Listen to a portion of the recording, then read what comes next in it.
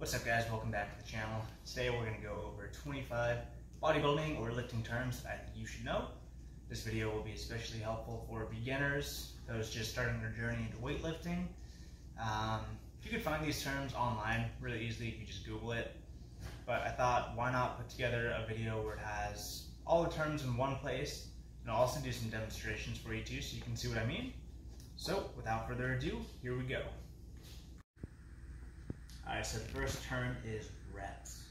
Reps stands for the amount of times you perform exercise within one set. So for example, if I'm doing bicep curls and I do five bicep curls, that is five reps. Which into the next thing, which is sets. Now sets, that's the amount of times you perform an exercise with a predetermined amount of reps. So for example, I'm going to do two sets of five repetitions for bicep that's two terms and how they sync together. Next up is going to be drop sets. And for this one, we'll do a demonstration video after I go over the definition. But a drop set is when you finish a set of any given exercise and then immediately after drop 20 to 30% of the weight. So if you're doing free weights, you'll actually have to get up, take some of the weights off to equate to 20 to 30%, and then you immediately go back and do another set to failure. Alright, so this is going to be the example for a drop set. We have 40 pound dumbbells. We're going to do a couple reps. We're going to set these down and we're going to pick up the 30s right after. So here we go. Let's go. One, two. Oh man, I'm so gassed. Toss these down. Immediately jump over to your 30s and go to failure again.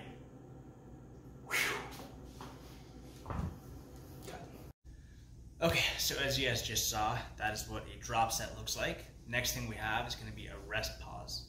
So a rest pause is when you finish a set, you wait 15 seconds, so count out 1, 1,000, 2, 1,000, 3, 1,000, all the way up to 15, and then you do a set again with the same amount of weight, and you take it to failure. So you'll see a lot of programs call for either drop sets or rest pauses to overload your muscles and just get them working in ways they haven't before. So instead of just doing your cookie cutter X amount of reps for X amount of sets, nothing special, this way you're tossing in a little bit more, you're shocking the body, and you'll be surprised at uh, how you do with those sets. So I'll give you an example of the drops, sorry, rest pauses here. All right, so literally continuing right after that drop sets, so let's say I do another set with the 40s. So gassed again. so I'm gonna set these down. We're gonna wait 15 seconds. 1, 2, 3, 4, 5, 6, 7, 8, 9, 10, 11, 12, 13, 14, 15. Don't actually count that fast. Count 15 real seconds. Time for the next portion of the set. That's the drop set. But I'd be taking that to failure again. So gassed. So don't mind me if I keep looking at my list. I don't know what order I have things in, and I, I mean, 25 terms is a lot to remember. I know what all of them mean, but I have to refer to the list just to see what the next ones are. So the next two, though, are going to be supersets and giant sets. So a superset is when you combine two exercises with no rest. For example, I'm going to do a flat barbell bench press. As soon as I finish that set, I'm going to run over and do a barbell row. I'm going to do them back to back. After that is when I'll take my rest. You typically do supersets with opposing muscle groups, in this case chest, and then back. The next thing is going to be a giant set. Very close to a superset and giant set is when you do three or more exercises with no rest. So we'll use the superset as an example, do a flat barbell bench, barbell row, and then let's say that we just do a barbell squat. So in this case, we're doing chest, back, legs, boom, boom, boom, and then you rest. So I'll show you an example of that here. This next one is gonna be a superset and a giant set. So I'm gonna do them both in this one take. Um, I'll, I'll stop and show you what I mean. So for the superset purposes, we're going to do a barbell flat bench, followed by some dumbbell, bar, dumbbell rows. And then for the giant set, I'm just gonna do a goblet squat. I don't wanna have to move the barbell around and take up so much time. So here we go. We'll get our set of bench press in. Done. Now without rest, we're gonna jump over to do some dumbbell rows.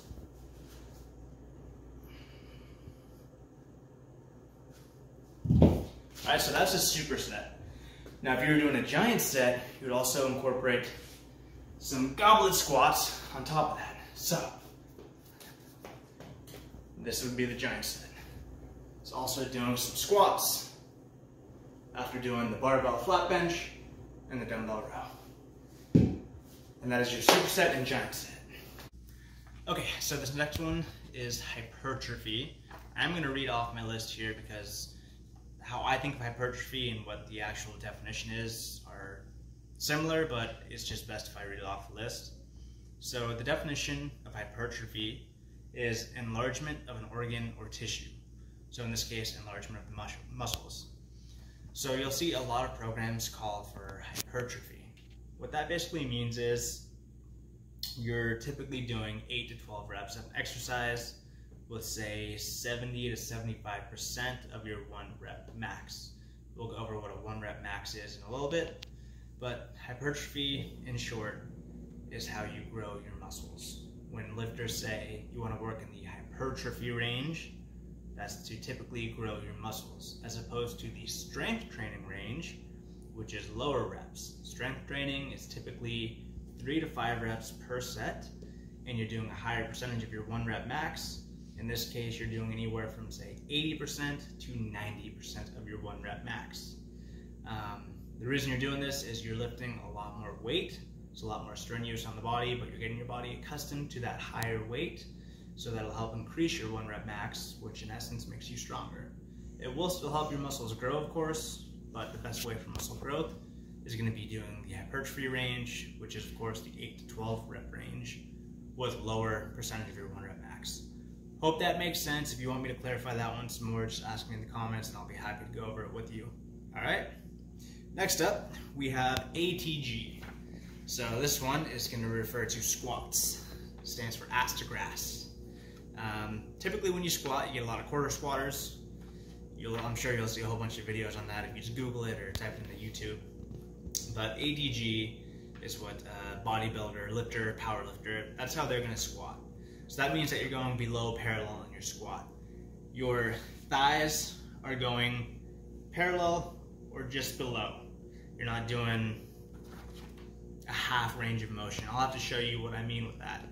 However, I will say some people have knee problems or lower back problems or just overall mobility problems and they might have problems going parallel or all the way ass to grass.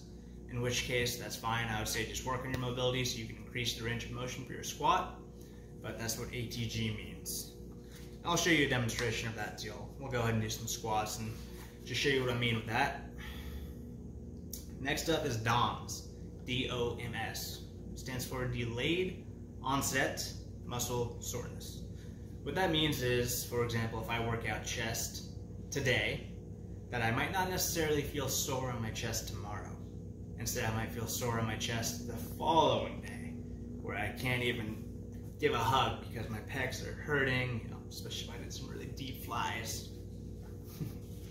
but what I wrote here to mention is that you'll typically feel DOMS with your legs. Like literally, you can work out your legs say on Monday, and you'll you'll think you're fine. Wake up on Tuesday, no problem, and then you go to go upstairs on Wednesday morning or even Thursday, and you're like, holy hell, I can't move. That's how you know what DOMs are. Okay. This next one is going to be the squat demonstration of ATG or ass to grass. So I'm going to show you different levels of depth. So actually, if you can come stand over here so you can kind of see where my legs break. So this first one is going to be going all the way ass to grass.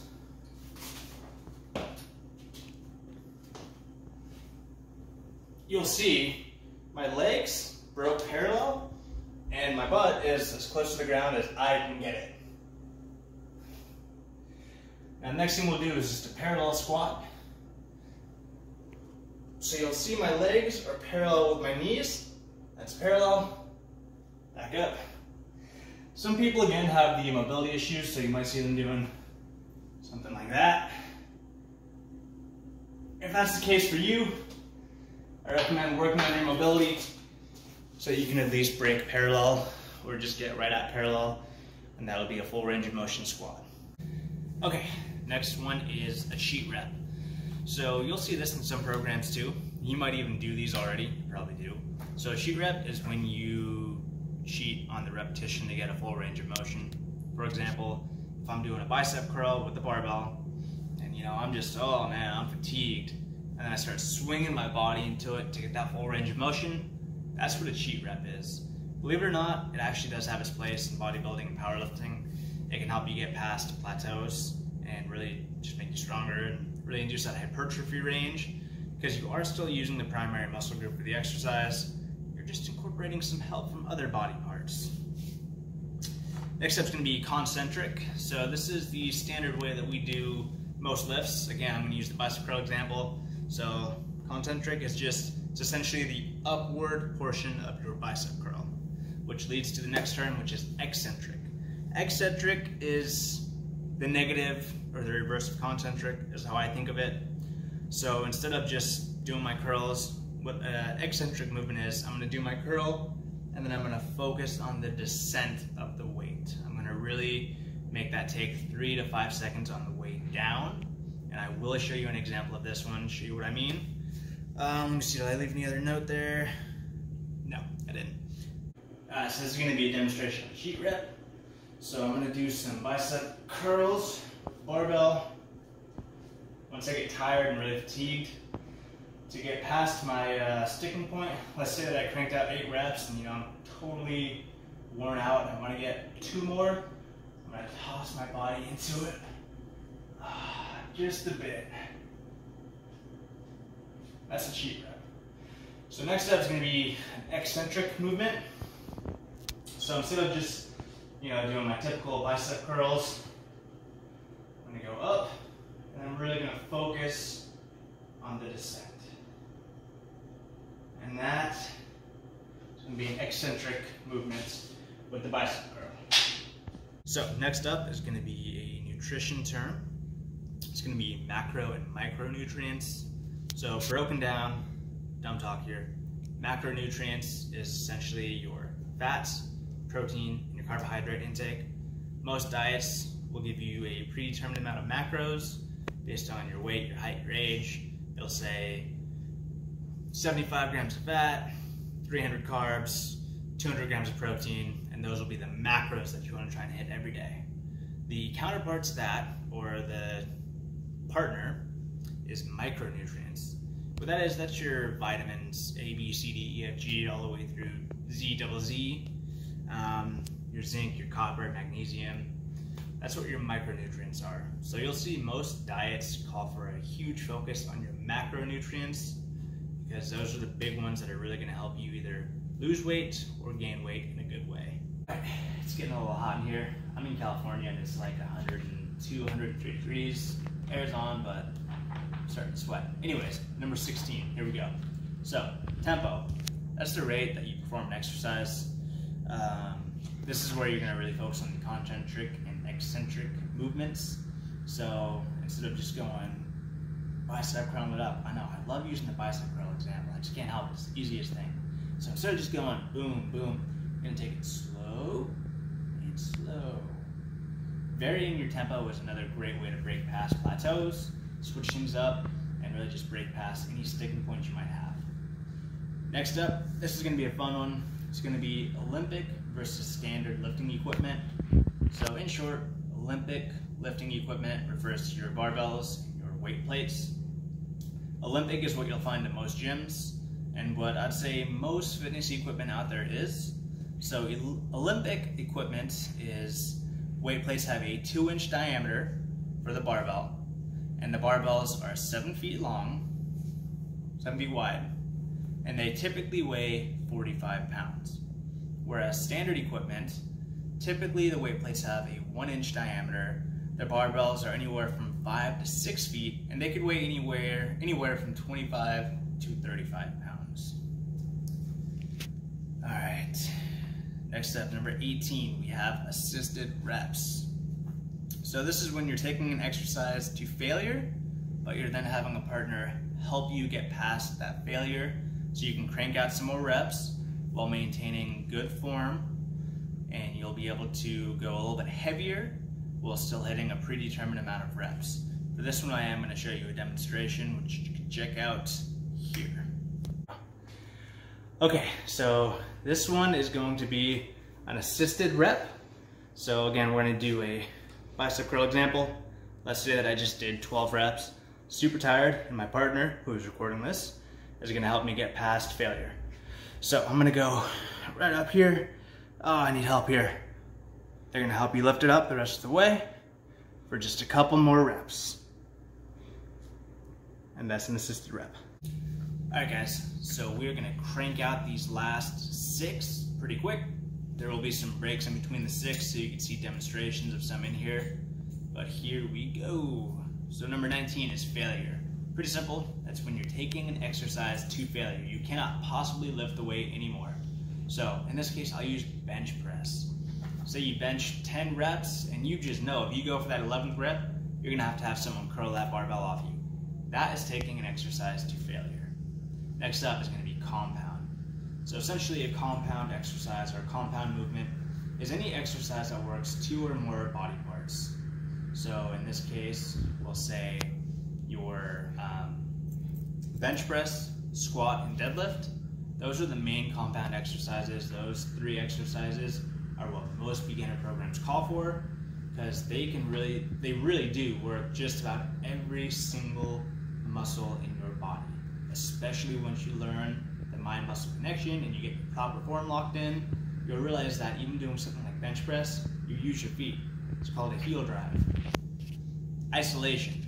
This one's pretty easy. So an isolation exercise is when you're doing any exercise that's only working one muscle.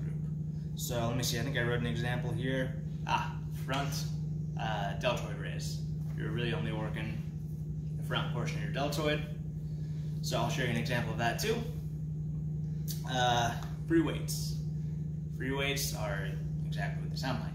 It's weights not attached to anything. They're free. so in this case, so we're talking about dumbbells, kettlebell, kettlebells, and um, just weight plates. Anything that's not a machine is considered a free weight. So you'll see there are some free weight exercises and some machine assisted exercises. Next up is negative reps. So negative reps is essentially your eccentric versus concentric movement concentration. So for example, when you're doing bench press, instead of just focusing on pure tempo, you're only focusing on the descent of the bench press, the barbell. So when you're doing it, really just focus on a slow, controlled descent. And in this, you'll actually want to use a weight that's maybe a little bit heavier than what you normally do.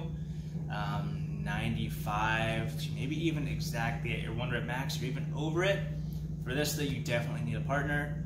The goal here is to control the descent as slow as possible, have a partner help lift it back up and do it again. You're only focusing on the negative portion, the eccentric portion of it. One rep max, ORM. So that's exactly what it sounds like. It is the maximum amount of weight you can move for each exercise it's really important to determine your proper one rep max and to constantly test your one rep max every couple of months. That way you can base your percentages for hypertrophy and strength training appropriately. So for example, my one rep max squat is 435. So working off that, when I'm going for hypertrophy, I'll take 70% of that just do some reps with that. Or if I'm doing strength training, I'll work closer to 85% of that with the three to five rep range. Finally, we have partial reps. So this is exactly what it sounds like. You're doing an exercise without full range of motion. Great example of this one is going to be 21s, which is, you can really incorporate it for any body part. I'm more familiar with doing it with bicep curls, so I'll show you an example of that we'll wrap the video up. Thank you for watching. All right, almost done. So this one is a negative rep. I don't have a partner that can help me demonstrate this, so I'm just gonna stick with the one plate on each side. But without further ado, negative rep, remember, is really just focusing on the descent more so than the actual pushing up. So let's just imagine this is a three plate bench. I'm gonna go up, slowly, slowly, slowly, slowly, slowly control that descent, Now let's say that I cannot put it back up. Just imagine I do have a partner here with me. Help me get it back up. And then I'm gonna do another rep, just focusing on the descent. Partner's gonna help me get it back up. And then again, on the descent. I don't recommend doing too many reps with negative reps, especially with heavy bench, because if your partner's biceps aren't up to par, he's gonna fail and he's gonna drop it on you and you already know you can't lift it, so you'll be SOL. That one stands for shit out of luck. So this is gonna be a partial range of motion. To demonstrate that, I'm gonna do some bicep curls, uh, doing 21s. So what that is, you do a partial movement for seven reps, then you do the next part of the movement for seven reps, and then you do the complete movement for seven reps. So for example, I'm doing 21s, I'm gonna go one, two, let's say I did seven. Next up, I'm gonna go one, two, say I did seven, now I'm gonna do the full thing. Two. Really what I'm trying to show you though is that this is a partial rep. I'm not doing a full bicep curl. I'm literally going about halfway and then back down. That's partial rep. And that is the video. Thank you all so much, especially for those of you that went the whole 25 terms with me. Really appreciate it. Um, I hope that you enjoyed the video. If you did, please like and subscribe. And let me know what you'd like to see next. All right? Have a great day.